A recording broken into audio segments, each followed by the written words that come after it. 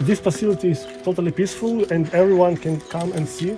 Of course, uh, if there is some conspiracy theory, maybe they will use next uh, next morning saying that Ukrainian took away uh, tanks from this facility, but you can see it's impossible to do. There were no tanks, and you can just be witness of this. Frankly speaking, in the beginning, we decided just not to comment it, but when Russian propagandists from Ministry of Defense stated, that it was used as a, as a military facility, we decided to open the door for everyone to see it.